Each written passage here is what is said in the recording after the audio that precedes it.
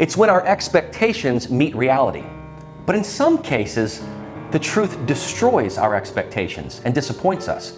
And for many who love the game of golf, that happened recently when Australian golfer Greg Norman made some surprising comments.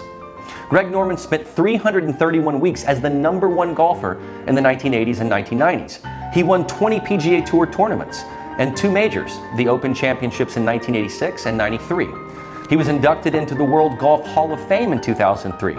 In 2021, he was named CEO of LIV Golf Investments, an upstart that is financed by Saudi Arabia's sovereign wealth fund that plans to compete against the PGA Tour.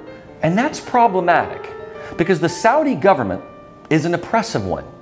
It is reported that Norman signed on to be CEO of this league for 260 million Australian dollars.